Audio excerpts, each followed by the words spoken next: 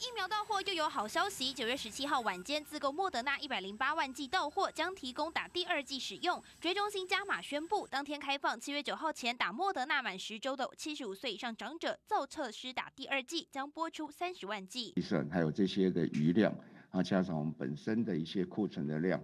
啊，先提供给七十五岁以上人来打。一百零八万剂到货后，哪些族群可以打到第二剂？追踪性计算后会公布，但目前为止有三百零七点七万人等待第二剂莫德纳，三十万剂提供七十五岁以上长者施打后，加上新到货的一百零八万剂也打第二剂，算起来仍有一百六十九点七万人打不到第二剂。除此之外，第一剂都未接种的莫德纳铁粉共五十九点三万人，年底前打得到疫苗吗？哦，如果对于 mRNA 疫苗情有独钟的话，那我想 BNT 那个莫德纳那性质是相同的。传出十月底前将累积到货四百万剂莫德纳，渴望缓解国内民众等待施打第二剂的焦虑。另外，九月十七号下午也有一批自购 AZ 疫苗六十四万剂抵台，但 AZ 疫苗仍不足。看看 AZ 未打第二剂还有六百四十六万人，加上到货六十四万剂，库存超过两百二十二万剂，但仍有四百二十三万人苦等第二剂。部分长辈们开心能打到第二剂。只是接下来的疫苗是否真的如期到货？